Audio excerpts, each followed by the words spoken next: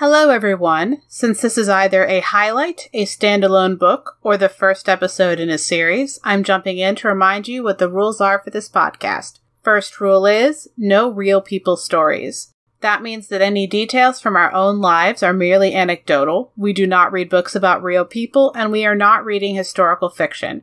The second rule is that we are basing our analyses off of how the author treats characters and what they put them through. We are not judging the accuracy of the trauma, the accuracy of any actual conditions that may be portrayed, nor the authenticity of a character's reaction to that trauma or that particular condition. This podcast is for entertainment purposes only. The hosts are not trained professionals, and their opinions come solely from personal experience.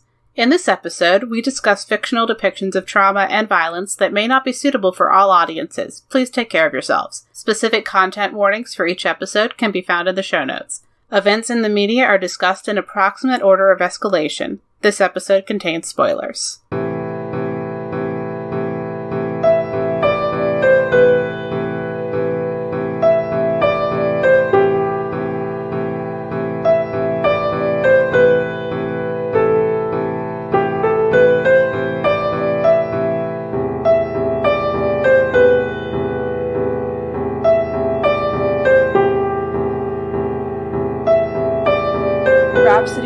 Our journey of our three heroes who struggle to fight, unite, and overcome as the world quite literally changes around them. Hi, I'm Nicole. And I'm Robin, and this fortnight on Books That Burn, we are discussing Rhapsody by Elizabeth Haydon. This is technically a nine book series, but it's done in trilogies, and so we're doing book one of trilogy one. Yeah, we're just gonna do the first trilogy, um, but the entire series is really good. Mm-hmm. In my personal recommendation.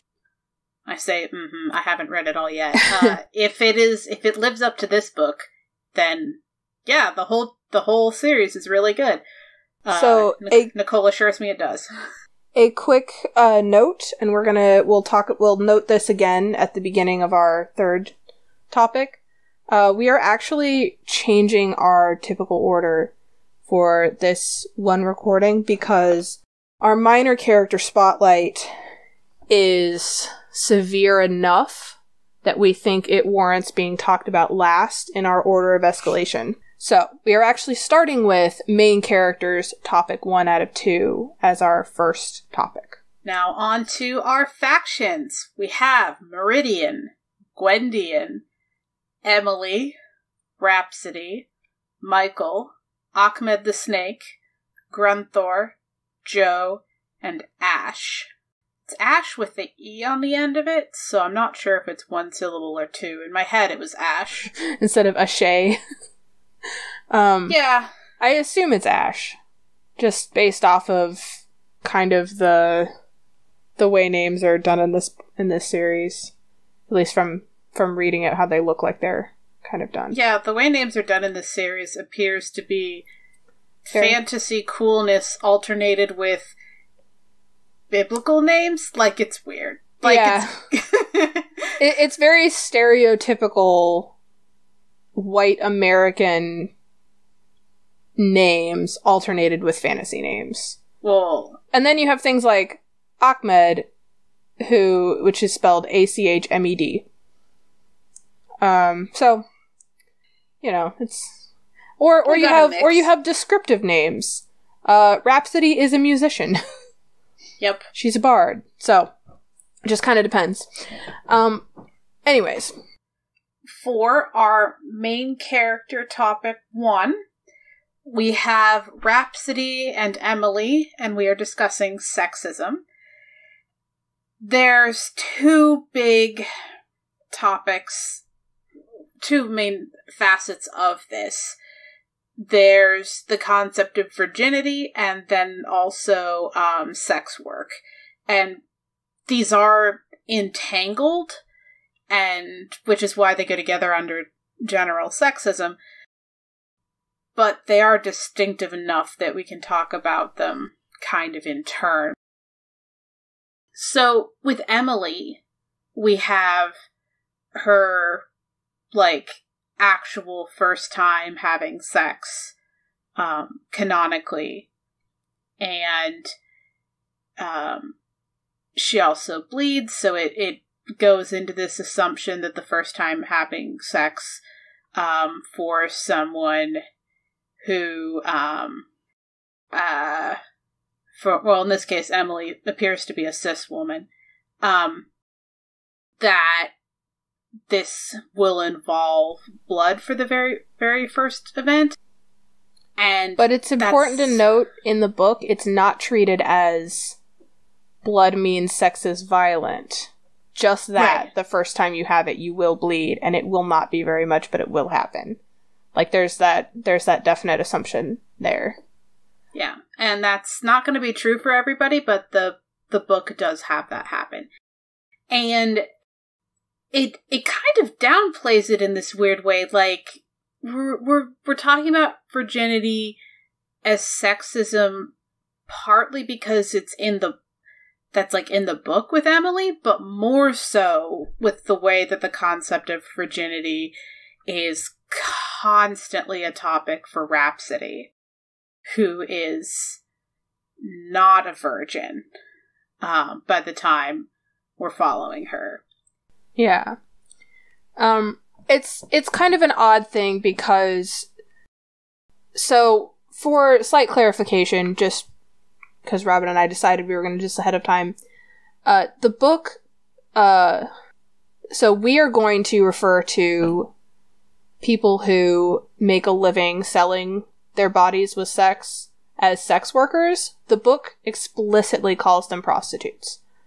Yeah. Um so just so anybody listening or looking to read this book is aware, um, this book is actually like I think newer books have come out more recently, but I think I first read this series a good ten years ago. So um, modern assumptions on what vernacular is and isn't degradation um, might have been a little bit different.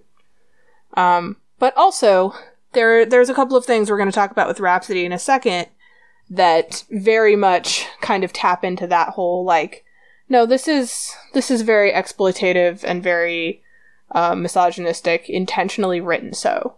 So it might also just be intentional word choice by the author but it's still good to know you know yeah, going if you in to go read this book. read this book the book is not going to be saying sex work the way we are. Um so Um, with rhapsody with, with Mhm. Rhapsody, there's a there's kind of this assumption that um, if you have quote unquote lost your virginity, that you are damaged in some way. Uh, it's part of damage that has happened to you throughout your life. Not saying virginity good, sex bad, but it still takes that stance as your virginity being something that is a a thing that has happened to you. And so there's a part of this book where she goes through an event that heals her of a lot, and pretty much any physical trauma, scars, um, in general, um, just eh, like any any physical flaws, anything that would have happened to mark her body is is healed is is literally because it's fire related is burned away. And and it talks about her like her physical appearance being refined. Um extra flesh is burned away. Her bones her cheekbones are more visible. Um like again like her scars are burned away. Her fingers appear longer. But in this transformation she regains her virginity according to the book. Yep, in a physical way. And because the way that it happened is a very dramatic version of something that she is regularly able to do, which is use music to heal herself and others, we then get into the sexism because her traveling companions are like, oh, when you were a sex worker, did you do this so that people could, could keep taking your virginity? And she's like, um this is she's like no and no that is not okay what no Yeah. um so that's the other thing about this book is that there's a lot of very troubling concepts set up. Um, but actually getting into our our our thoughts on the way sex work is treated, this book actually does a very good job of having some really, really, um, I don't want to say problematic because that word is really loaded now. Um, Th- but there's some a lot really, of sexist comments and jokes. well, there's and- but there's there's sexist more than just comments and jokes, just like a pervasive attitude surrounding sex work.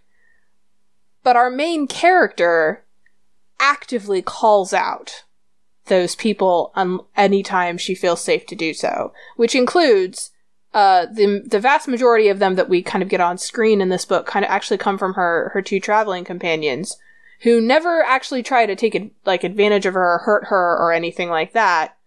Um, but they still make assumptions and make comments, and she does she actively calls them out the entire time. But also, she actively calls them out for the entire length of the book. And yeah, like it doesn't it doesn't get it gets better Uh, eventually. given the time But- scale involved, and that's all I'm going to say there, given the time scale involved, that they are still making these comments. It's only like a year or two in, book- in life experience. Yeah, It's not But- actually that. It's not actually that long of a time period. okay. Um, I It's maybe a understood to be year. They didn't have a good sense of the time passing, but that they were living through it. But Uh, whichever, living still, through it. a year, yeah. a, i- an experiential year of traveling with them, and Yeah. they're still making these jokes at the end of it.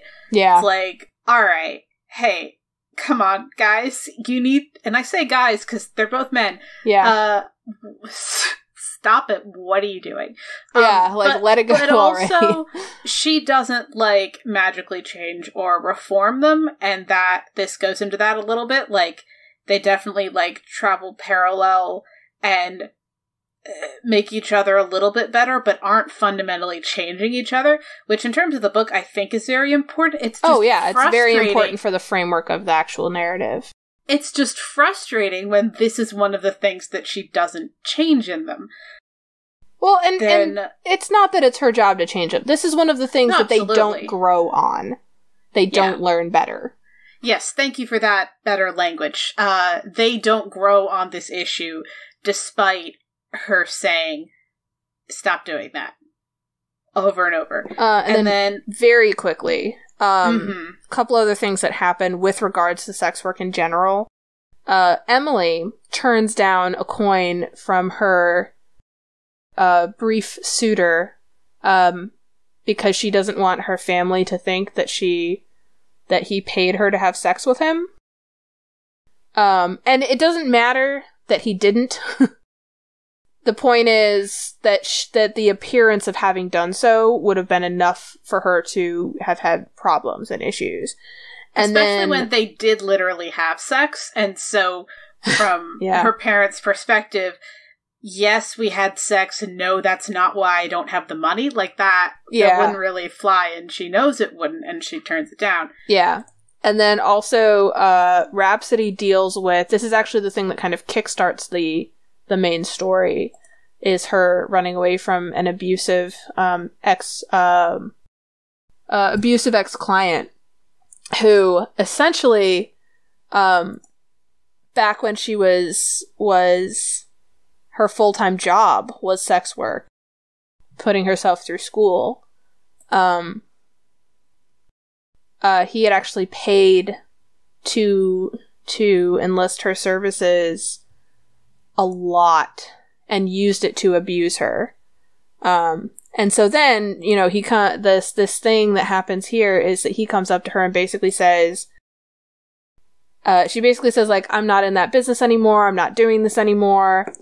Um, and his response is essentially once like I've paid to have sex with you one time, therefore I get free sex with you forever if you've left the business. Like you're my property. I paid for you. I own you. It goes a little bit further than that because he is not around her, but where we get to see him do this, he is offering her body to one of his subordinates. Oh yeah, saying, he like, thinks of her as a literal her." piece of property. Yeah. Yeah. But it's but it stems out of this attitude of I paid for your services, which means I paid for you, which means I own you, which means I decide who you have sex with and my decision is that you are always available to me. And her response is no.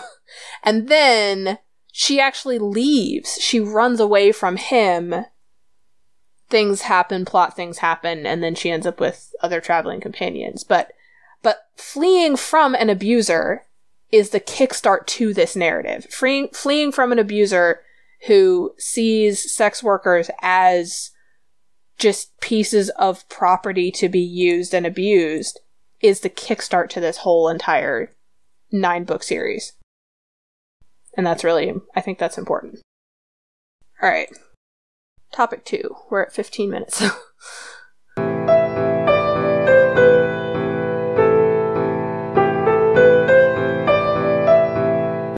for Achmed and Grunthor with racism.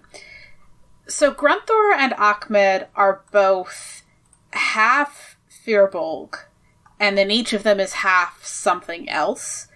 And there's a lot of racism around them being um, perceived or not perceived as Firbolg. and I actually want to branch that out. Uh, they are Firbolg specifically, but perceived as Bolg. Right, yes. So Firbolg being a specific kind of Bolg. Yeah, a particular clan association. And so they both experience different kinds of microaggressions.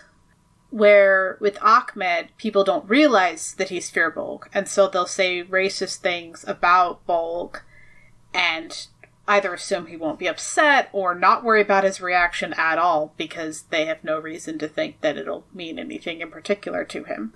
Or at one point, um, he actually has to choose a essentially a mediator representative, and he has a hard time uh, initially thinking of who that could be because it needs to be somebody who represents the Bolg and their the things that they need represented on.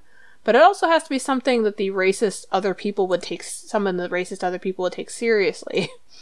and there was a it's it's kind of more of a background we know that the discussion happened and not necessarily that we see it play out in the book but there was a he kind of fills um our us as readers in and and and rhapsody who he is talking to about it with uh and he kind of fills Grunthor in too on that thought of like essentially they have to pick somebody who isn't going to immediately be uh discriminated against but is not like an ally or an outsider. and that's a and that was a really hard decision. Now this, to be fair, is in an instance where um different races kind of don't necessarily live separately, but the two factions on this side are explicitly of the Bolg and a different neighboring kingdom that's mostly human. So um it's it's not just as simple as for for Achmed, it's not just as simple as like the other kingdom needing to get over their racism. like he, has to pick somebody to represent him that won't be shot on sight.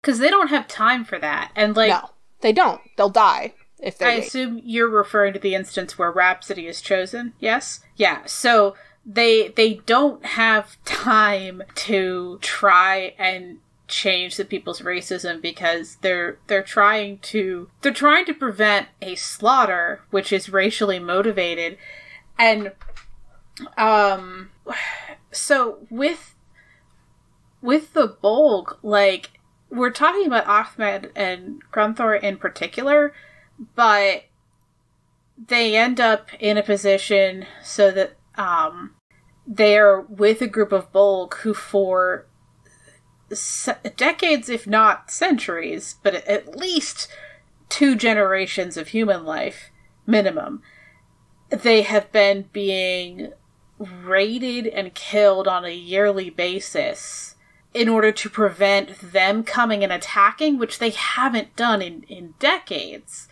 and like there I do not want to spoil their solution to it, but it's it's very like desperate and out of a like, well, we can't do anything about this because they're not going to get over hating us even though we haven't done anything to them in their living memory. It doesn't matter.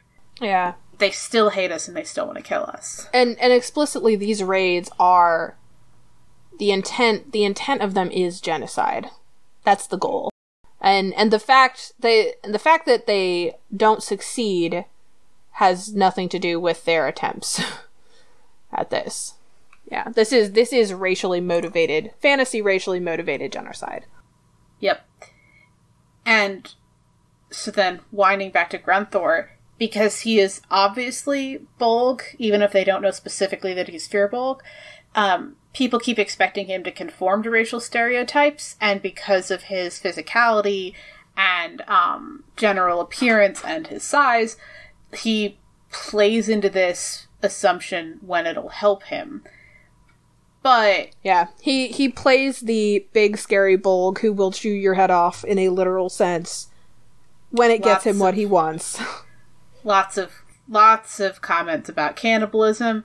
Uh, I did I did think it's inter- interesting, just on a linguistic point, that he it's still referred to as cannibalism when it's him talking about eating humans or um, Lirin, yeah. and it's like, oh, so cannibalism means consuming a sentient creature.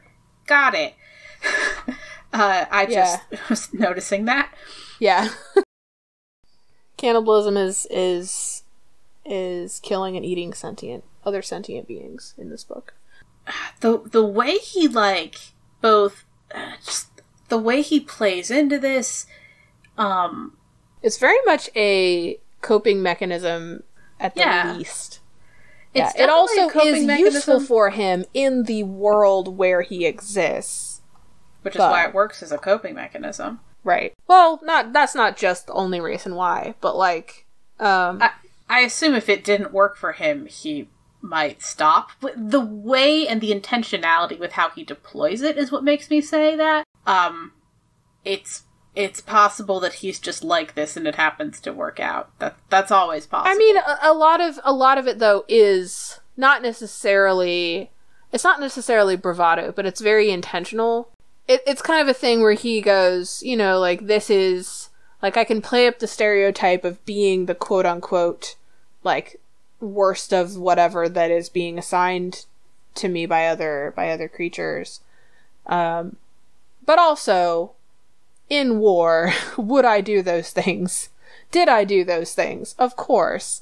Like there, there's there it's it's not he's not oblivious at all. He's not he's not unaware of the stereotype he's playing into. He's not unaware of of I mean the society that he was brought up in and the things that he was taught to do and to be. And mm-hmm. so but he also he also doesn't do them nearly as often as everyone assumes that he would. Oh no, a good on screen, a good like I don't know, 80% of of what of what we see him of how we see him kind of playing into the the the quote unquote monster monster stereotype is in, is just it's just that. It's it's capitalizing on other people's racism to get done what he wants to do. And then every once in a while, you know, he does something like allow um, his army to carry off the bodies of the enemy that they've killed and eat them.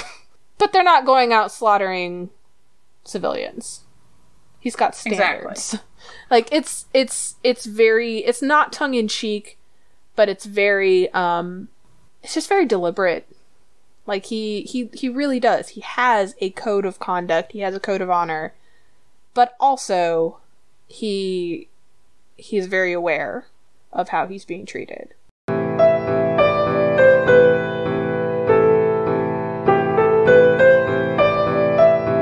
For Jo, we have ritual sacrifice and child abuse.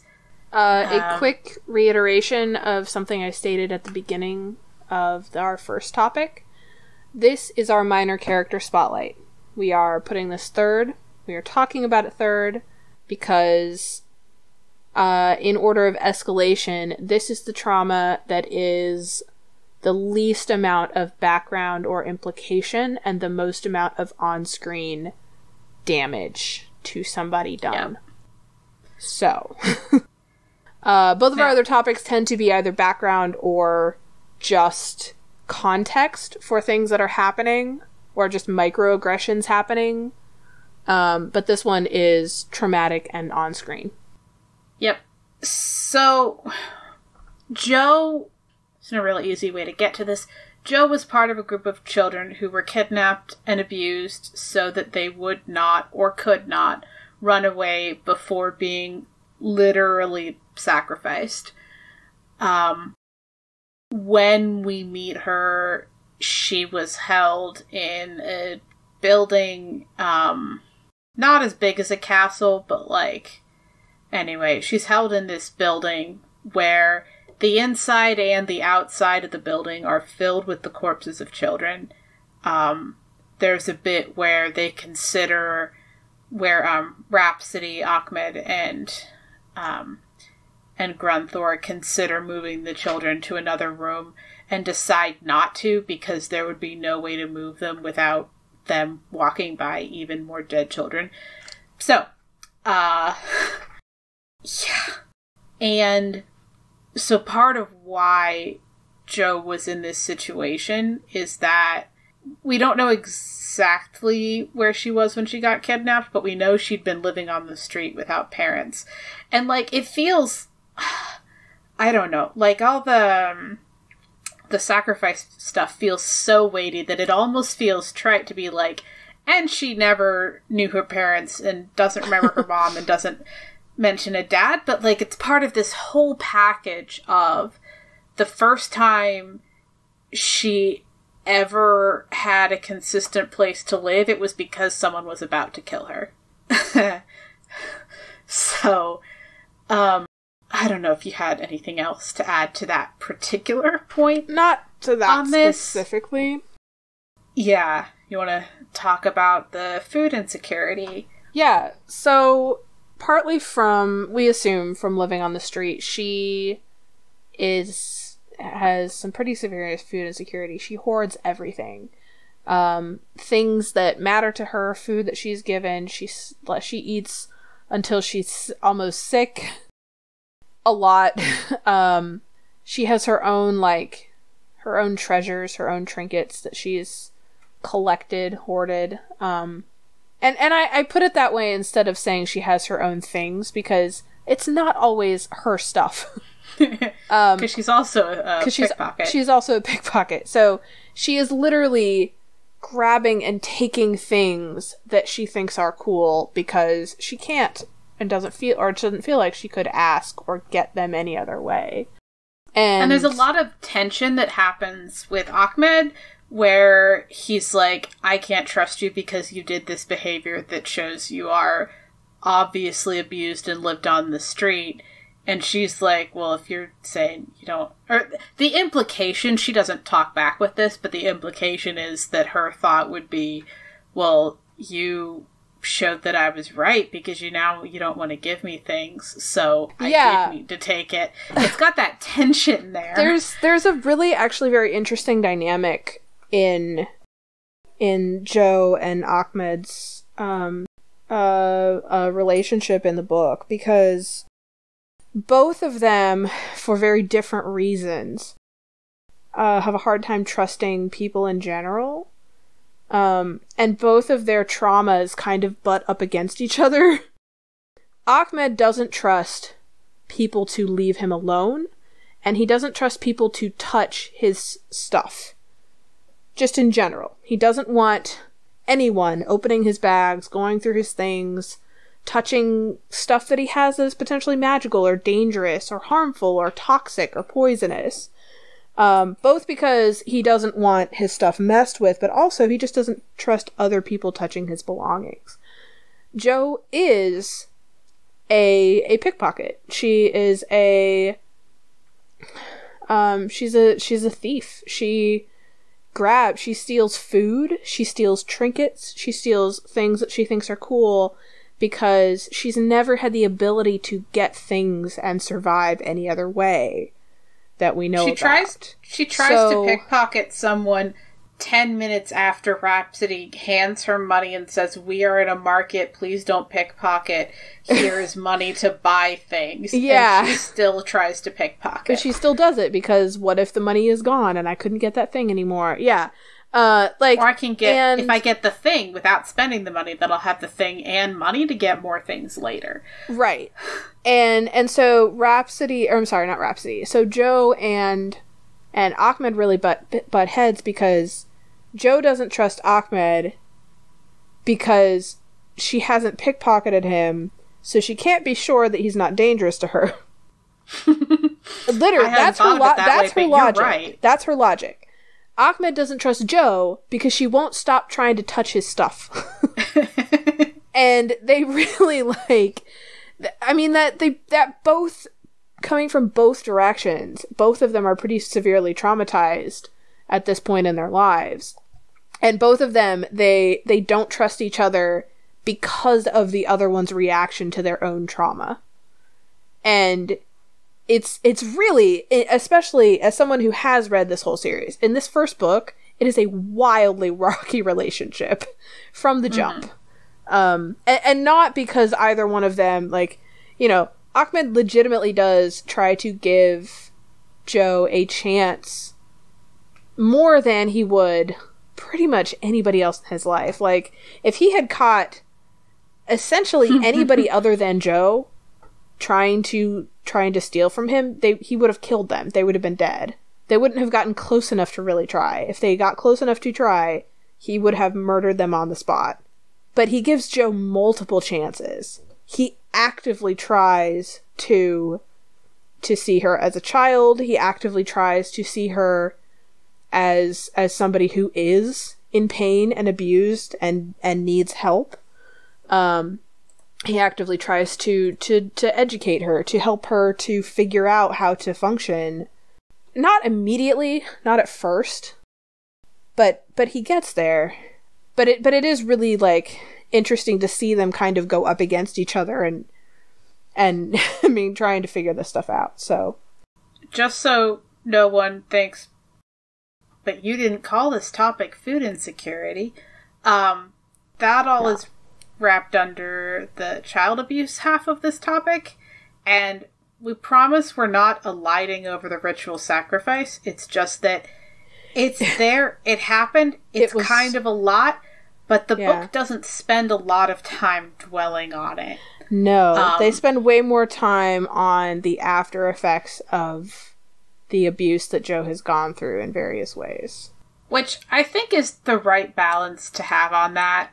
Um, because you don't need to spend a lot of time there to know that it was very terrible. Um, I'm sure this will come up in our wrap up, but like it's not blink and you'll miss it, but it's no no it's definitely not. but it's also not the thing that everybody else focuses on. It's just kind of part of how they found her, and then it's part of a thing that they try to stop from happening again, and that's kind of it. So,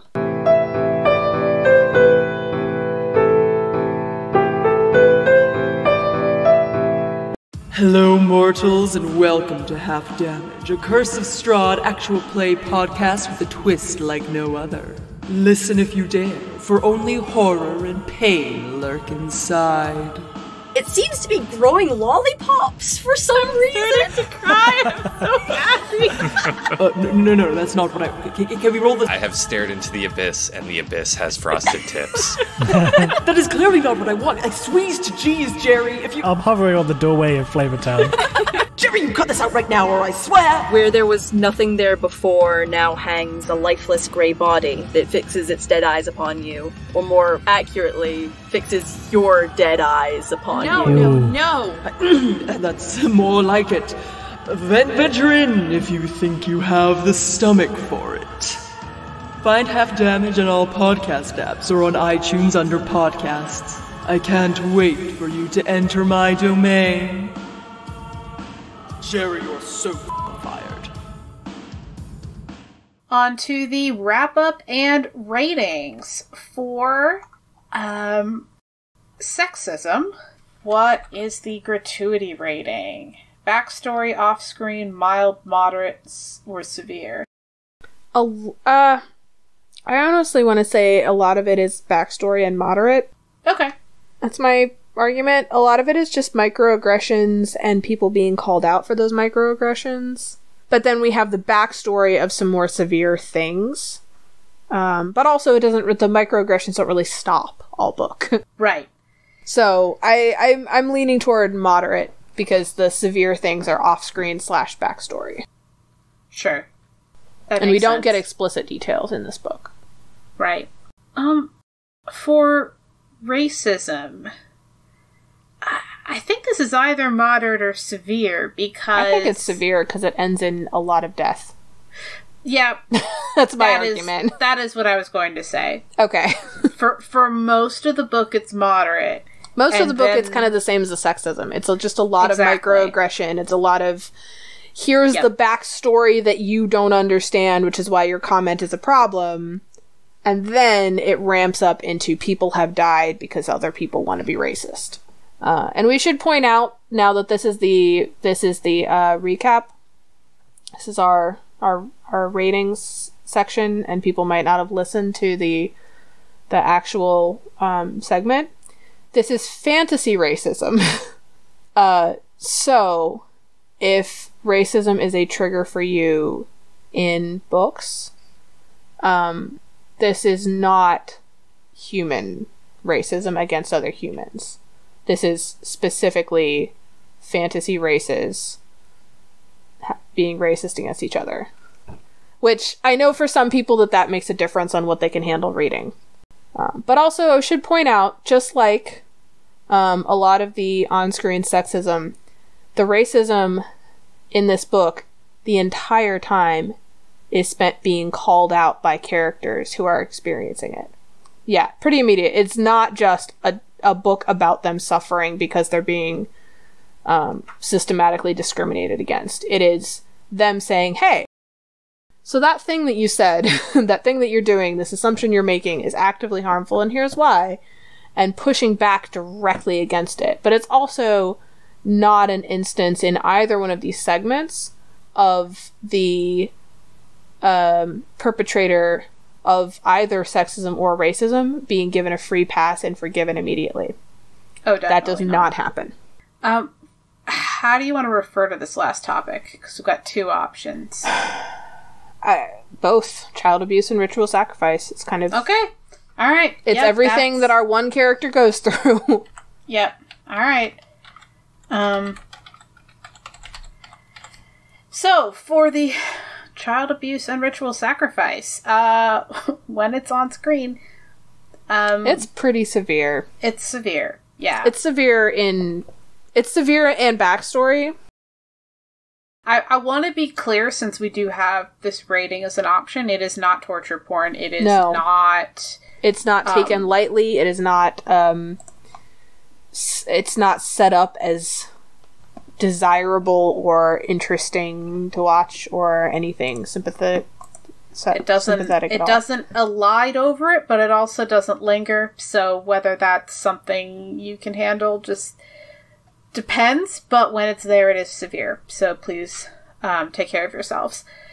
For the uh, integral, interchangeable, or irrelevant ratings, sexism, integral, interchangeable, or irrelevant. I know my opinion. Yeah, integral um, kind of defining thing in the book.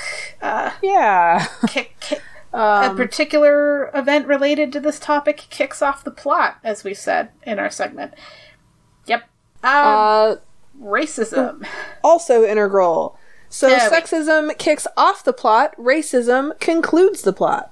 That's what I was about to say. the plot Uh, wouldn't happen without one of these two. Oh boy, we really picked the right topics because the child abuse and ritual sacrifice Is I'm- the middle of the plot. is the middle of the plot. It's also integral. Um, You know, if we had flipped our second main character topic and our minor topic, we would have these in plot order. yeah, we put them in escalation order instead of plot order. But I will say this if you take out the one instance of ritual sacrifice and just make it child abuse, it would probably be an order of escalation in plot order. Yeah, definitely. Like that's and and I will say this pretty consistent across these books. like that's not we might end up me- talking about these in plot order and for every topic. I potentially unless we pick ones that are not like, like, it's not enough or to make me want to like re-record and do that, but it's No, enough to make no, no, me wish I'd realized so that we could have structured the episode on purpose to take advantage of that. It's I, fine. I still don't I'm think that would have what- been good because our Yeah. major our major descriptive descriptive graphic event This is is still our minor character, and that should still have needed to be last in, in order of escalation. But uh, that's one moment. Um, Absolutely. but the overarching ideal ideas of things that are happening in this book definitely ramp as you go. Treated For- with care. Care, yes. Um, I think enough. for sexism, I- okay. honestly, but- I'm going to make an argument that both sexism and racism are treated with enough care because there are some pretty explicit things said, but kind of like we've stated, every single time the characters that they are being set against, the characters that are experiencing those things, immediately call them out and are and are pretty immediately uh, emotionally backed up and taken care of by their companions and friends at the time. I do have a little pushback on that because for these topics, I don't feel like someone immediately after saying, hey, that's not okay, is quite enough to make the actual. No, but that's why I'm Um, saying it's more than that. Okay, It's, hey, you saying that wasn't okay, and then the other person goes, oh, okay, tell me why so I can do different. And they don't necessarily reverse course and learn from it immediately. But the but the same comment from the same person doesn't happen again. And this is very much an instance of like this is very much an instance of the difference between the character experiencing versus something somebody reading it. It's a very different reading experience to just watch microaggressions happening to somebody in a way that feels like it it could be happening to you than it is to watch them have it happen, have it immediately called out, and then have it matter to the story that somebody else is caring about these things happening. okay. So, like, and, and I- specifically, like, um, I'm not keeping spoilers out about it, but we talked about the ambassadorial appointment. Uh, that only worked because that character is now advocating for a a another character that oh, that's true because that they wouldn't have had the perspective to do at the beginning of the book absolutely okay, that makes sense. and was Um, trusted to do that. And it's not that character inserting their voice in as an ally, it's that character literally delivering the words of the person who is being discriminated against. I, I think it's enough because I, of how it's handled overarchingly. okay. Um, That's my argument. Okay, so I can go with you on probably enough, but it's it's it's possible. it's a kind of your mileage may vary thing. Yeah, it's going to range somewhere between not enough and enough, and we can't speak for you on which one of those it's going to be for you, but you'll you'll know pretty quickly. Um because it's pretty early on in the book. So, if it's not enough care for you and you need to stop, I'm sad you'll miss the rest of the book, but but stop. It's fine. It's okay. Like don't worry about it. Um cuz this this book's definitely this book definitely ramps up. Then for the child abuse and ritual sacrifice, I nope, not enough. Like there's care taken, but it's it's not enough. These are these are pretty rough. For point of view, for sexism, we have the perspective of the person most of the time. Same for racism, um, because the book switches narrators depending on each individual instance. It might we might be following the person saying the sexist or racist thing, and we might be following the person hearing it. it bounces back and forth pretty often. Yeah. So it just it, it depends. They're all main characters. Most the events, a main character is either saying the thing or receiving the thing. Um, that also led to a very interesting dynamic where you had one main character or two main characters who were consistently sexist and one main character who, at least initially, was consistently racist. Um, yeah. And then they kind of mutually Mutually stopped being gross that. to each other. yeah. Yeah. yeah. So that that was good. Um but yeah, so that makes the point of view a little bit complicated to talk about there. But for the ritual sacrifice and child abuse, it is the point of view of someone who did not go through that. yeah, it's mostly just Rhapsody. Yeah, for for those sections. Um, point of view of the aftermath. So this actually changes slightly. I actually think it flips. I think we get Achmed and Grunthor as the point of view for the aftermath of the sexism, and we get Rhapsody for the point of view of the aftermath of the racism. Oh, okay. I think it flips because we very much get a chance, uh, an instance of initial incidents. You get the point of view of the person experiencing it, and then once the other person is an advocate for the person who was experiencing it, you now get them noticing it happening to their companion. You actually get both, which is honestly narratively a very it, it that's a I, I like it. I don't want to blanket say it's a good way to do it, but um it it means that you have both somebody experiencing these microaggressions or these this discrimination and you get their perspective as it happens and then you get their companions protecting them when it would happen again which is which is an interesting and a, a nice way to see it from the perspective angle.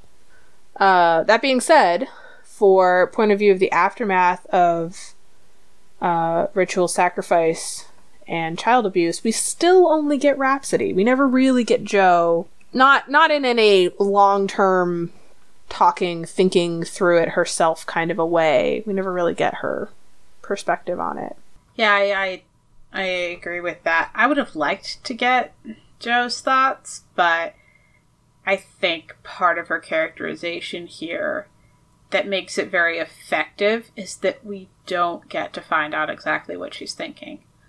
Do you have an aspiring writer tip? Aspiring writer tip. Um i mean the biggest one that stands out to me is that this book has three main characters three narrators. They're not even narrators because it's really written in third person. Um, but three main points of view perspective. And none of those three i think we were actually talking about this before none of those three really are upheld as like the the good guy. um, our our female character is starts out with some pretty racist points of view. Um, our two male non-human characters start out with some pretty sexist points of view. Um, they start out with like giant information gaps in their their knowledge bases. They start out not really working together, you know but but none of them are the hero that comes in to save everybody. They're all just very different pieces of a puzzle. So I, I don't know. That's that's the thing that kind of jumps out at me. That it's not always the same in every book. So I have a different aspiring writer tip. That's fine. Yeah, I just normally it's only one of us that has well, one, but well, I actually have normally one. we had talked about you like turning it into one, but I don't know how to do that with mine. No, sure. No, but like I, I have I have a different one that I'm very Okay. excited about. So there's a section in this book where something takes an extremely long time. And without being boring, it effectively conveys a sense of monotony, and I don't know how to describe it better than that, but it it it worked really, really well. And I think the tip would be that if you are going to, if you want to convey that something took a very long time, you can't, you need to devote enough of a segment to the book that it takes a bit for the reader to get through. Um, now, doing that without being boring, obviously, is the trick, and I'm sorry I'm not very much help there. But it really meant that then when we find out how much time this took, like I, I felt it. It made sense. I was like, oh yeah, because that completely matches with all of this narration and all this stuff. Absolutely. Like I, I felt that time and it was believable. It was a shock while also being believable. It, it, didn't, it didn't break my sus- But it was a shock to the characters too when they realized what was happening. Absolutely. Um, so we have like the way time dilation is done there. It was like, yeah. So if if you're going to have something take a long time, don't be afraid to show it like actually taking a while. Don't be monotonous. Don't be super repetitive. But, um, but yeah, uh, g- give give long even if they're kind of boring events, if you give them the time needed, then it'll be believable that the characters actually took a long time to do a thing. Um, this this does not mean narrate any every step on a road journey. No. Like that's a different thing. Um, but just mm. Anyway, I hope that works. This done really well. Yeah. Uh, what was your favorite non-traumatic thing about the book? I just like uh I like that the main character is I like the way music and magic in general is done in this book, which I I know is tends to be a thing that I like in a lot of our books if it's done well. Um but I like the concept of magic being connected to a an, a thing's essence or identity true names and the words that people use mattering. And also, um, unlike uh, a lot of series where that use that kind of a premise, this is not a book that says you have to uncover something's true name in a in a distant, unused language. Instead, language and magic changes as vernacular changes and as context changes. And But this book you- this book jumps directly into that because the way you use it depends on how you mean it and how you think of it and it's just really well done But also, if you use the true name, that does like extra special stuff. But you can oh yeah still but only because without only that. because of what it means to eh, the thing basically right, exactly. so it's it's just a really good i don't know i just think it's a really really really cool interesting good take on that concept of things having a nature that's connected to them magically My favorite non-traumatic thing about the book. Um, I hope this counts as non-traumatic. It was very stressful for me, but I I think it is my favorite thing. Um Ah Gwydion and Emily. Um Ah I no spoilers. I I love the prologue. Uh waiting for the payoff was agonizing and so um, I'm not spoiling how or whether it pays off in this book. It is worth it. You're you're ace aro sitting over there being like, well, there's no romance clogging my adventure trek story. hey you said that about me not me Fine, fine. That's how I think you were thinking. What were you actually thinking? Uh, just that I didn't know how it fit in yet the first time I read this book. I just didn't know what the point of it was yet, because th- we didn't know. Uh, but I will say, from a slightly different perspective, as somebody who has read this series several times, um, watching you try to figure out how it connected was very entertaining. Yeah. Because, like, you had told me it was going to connect, and I was like, oh. I was like, eh, they'll get there. and I was like, obviously it's going to. And I, I had a, a wrong answer, and then a right answer, and then about 200 pages of agonizing until I found out whether or not my second answer was right. And, um, ah, I, this is, This book does a really good job with pacing. yeah, it does a really good job with pacing. Um, I'm hesitating over whether I can call this non-traumatic. It was very stressful for me, but it is technically not a traumatic it's thing. not traumatic in the book. in the book. Ah, okay. That's other than incoherent screaming and a need to get to book two as soon as I can.